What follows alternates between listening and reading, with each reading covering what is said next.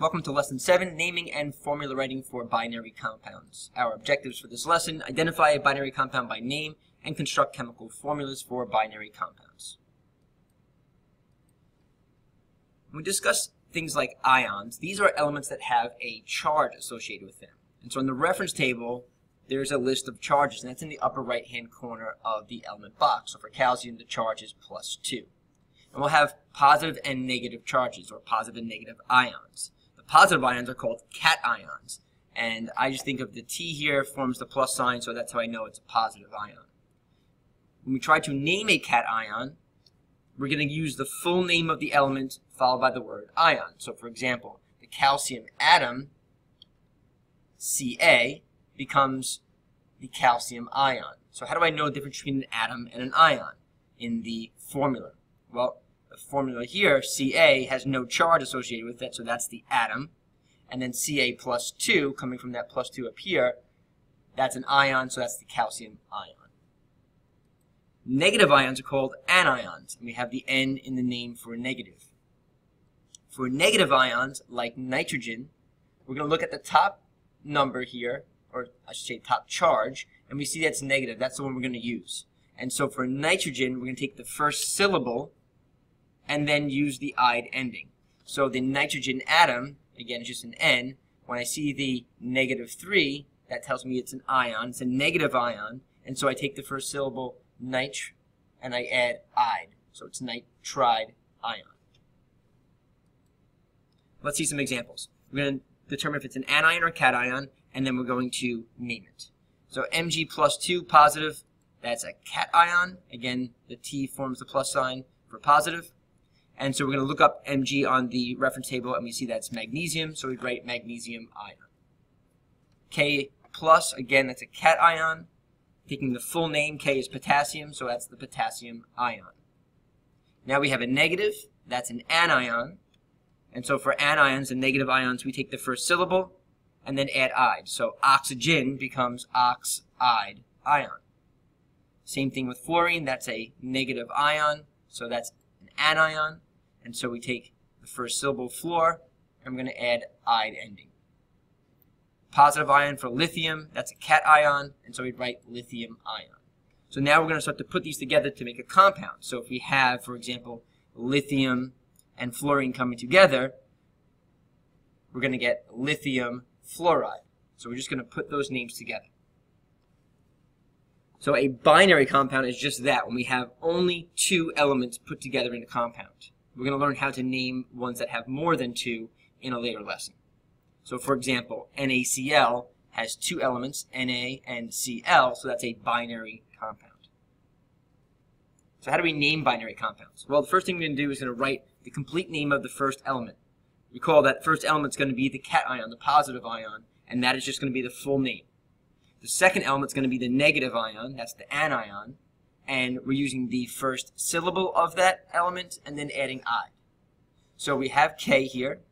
That's the positive ion. We take the full name. So we look up on the reference table. K is potassium. And then iodine, we take the first syllable, iode, and then we add the ide ending, and we get potassium iodide. Mg is magnesium, write the full name.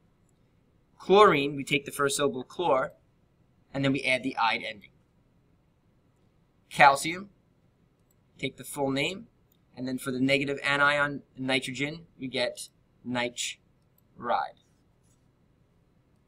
So let's see some more examples. I look up Li on the reference table, and that's lithium, so I write lithium, and then we take the first syllable of phosphorus, we get phos, and then we add ide, so it's lithium phosphide. Next one, Al is aluminum, and then sulfur becomes sulfide. Here we have strontium, and then bromine becomes bromide. Rb is rubidium, and then oxygen becomes oxide. Ba is barium, and then selenium becomes selenide.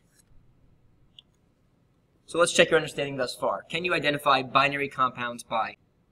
So let's look at writing chemical formulas.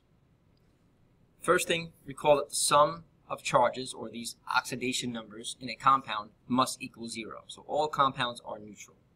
And also recall that we don't write ones in chemistry for subscripts or coefficients.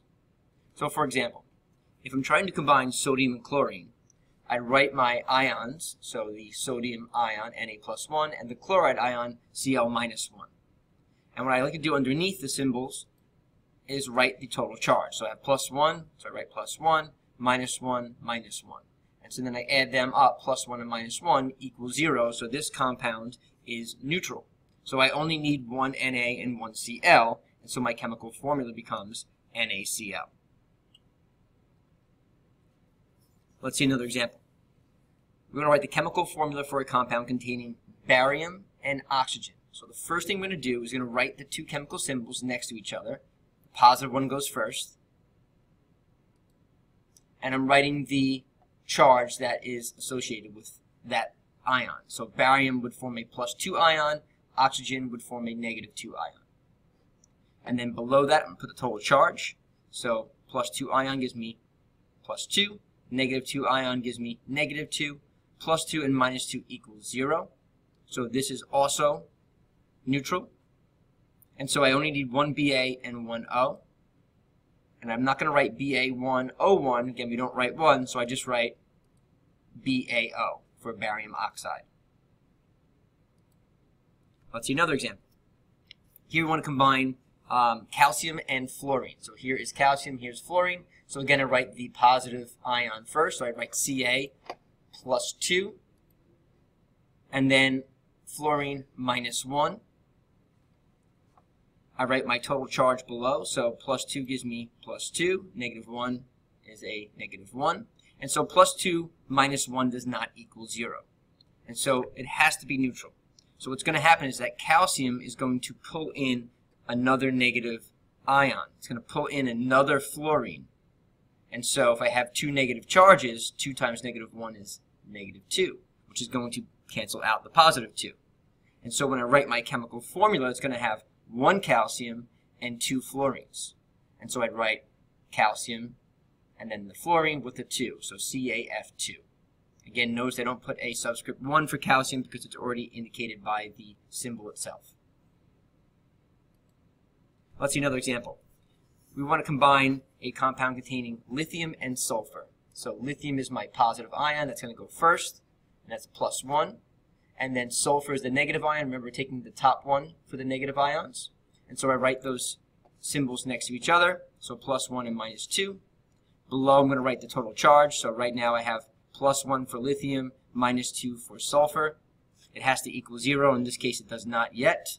And so what's going to happen is that sulfur is going to attract another positive ion, which is lithium, and that gets pulled in.